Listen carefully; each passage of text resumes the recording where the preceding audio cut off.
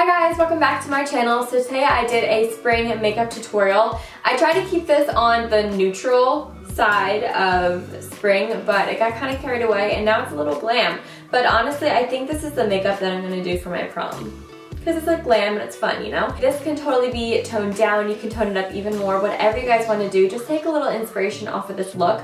I think this is totally wearable. I'm going to my boyfriend's later and I'm going to wear this there because I think it's glam and I feel great in this. And I think that's what I want you guys just to take away from this tutorial is whatever you guys do, feel great in it, feel confident, and just have fun. It's makeup at the end of the day. It can all come off. So if you guys want to find out how to get this look, then please keep on watching. As always, to begin, I'm going to start off by priming my face. This is the Nivea Men's Post Shave Replenishing Balm. Just putting this all over my skin and blending it in until it gets nice and tacky.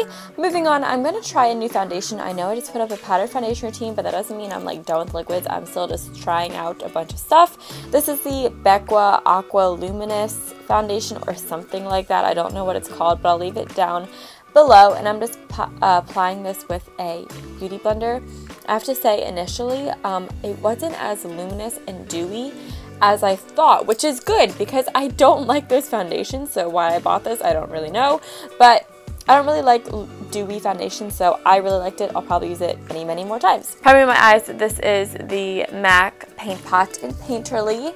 This is just a good staple. Put this on with a brush, blend it out with my finger, you know the drill. And then I just go in with a powder to set it. This is the NARS All Day Luminous Powder Foundation in Light 2.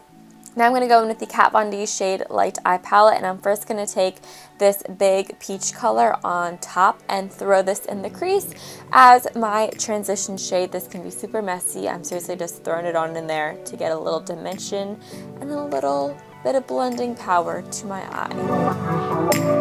Now I'm going to go in with the Chocolate Palette by Too Faced and I'm going to mix together a light pink and a more sparkly darker pink. I'm going to have all the names listed down below and I'm just putting this on top of the peach shade that we used to blend it up towards the brow. Then I'm going to go in with that more girly pink shade. I'm going to put this on the outer corner of my eye as well as the inner corner of my eye to kind of create a bridge and sort of like halo look. So I'm just really throwing this in there. I'm not really worried that much about keeping it precise because this is sort of just supposed to be an effortless thrown together kind of look.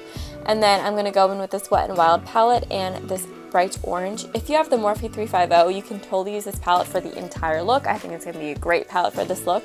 I just don't have it, so I got to improvise. I'm just popping those colors on the outer and inner corner, and then after I have them on there where I like, I'm just going to blend them out with a brush. Now I'm going in with Pink Champagne by Anastasia Beverly Hills. As you can see, I only have four Anastasia Beverly Hills shadows but they are amazing. I'm obsessed with them. And I'm just patting this color in the center of my lids, and I always think that it works better when I pat it on with my finger as opposed to a brush.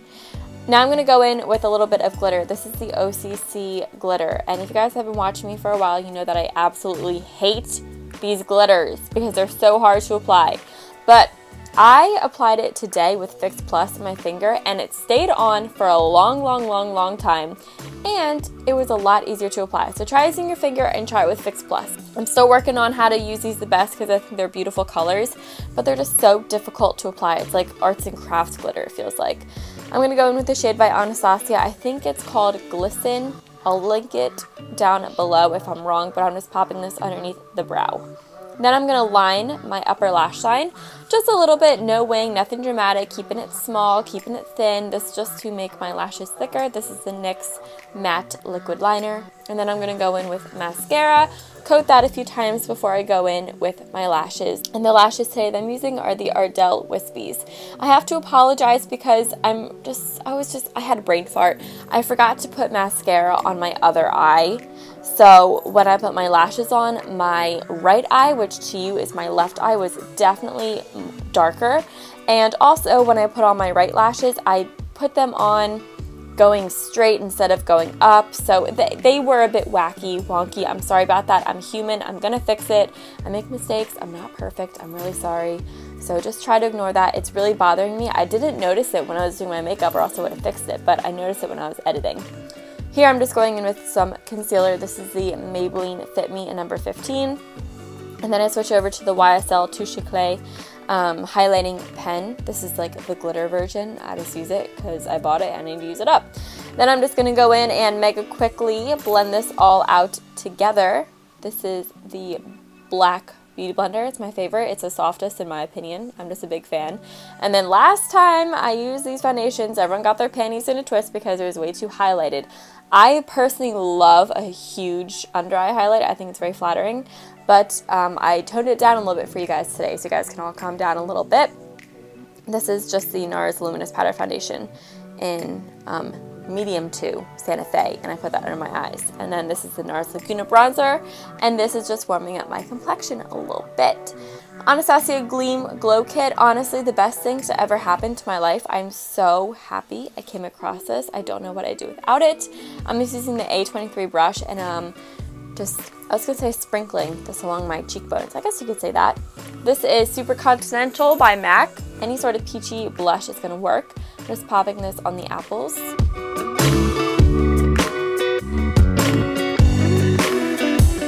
Then I'm just going to go in and finish off those eyes. So I'm first taking that orange shade from the Wet n Wild palette and putting this underneath my eyes.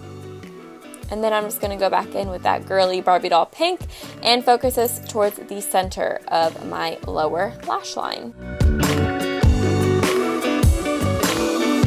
Now I'm going to go in with a liquid eyeliner. This is by CoverGirl and I love doing this. is putting little dots on your lower lash line. I don't know, for me it like totally opens up my eye, gives it a cool, cool look. I just really been loving doing it. it makes my lower lash line look a lot fuller too. I just love it. And then obviously I'm going to go in and highlight those inner corners with the Gleam Kit by Anastasia.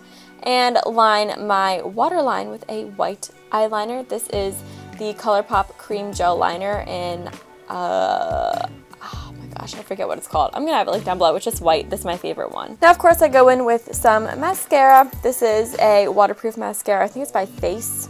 I don't really know, but you can see that those dots like really add a fun extra element. I just love it. Here I go in with the Blue Face, Too Faced Lip Insurance Primer. And this just makes sure that my lipstick, lip gloss doesn't have any creasing to it.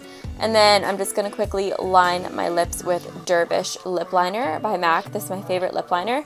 And then this is the Tarte Lip Gloss Lipstick Duo. I got this at Ulta. So if you guys don't know where to get it, it's at Ulta. I love this. It's in the shade Basic and super pigmented, super creamy. I love the combo. So yeah, after this, you are all done. Thank you guys so much for watching this video. I really hope you all enjoyed it. Be sure that you guys subscribe so you don't miss any more videos. The subscribe button is right down there. I'd really, really appreciate it if you guys did subscribe. Also, I just want to say that I will be going to Playlist Live Orlando, and I actually do have a meetup, so I'd love to meet you guys. I'm very excited about that. So yeah, I hope you guys all enjoyed this video, and I'll talk to you all in my next one.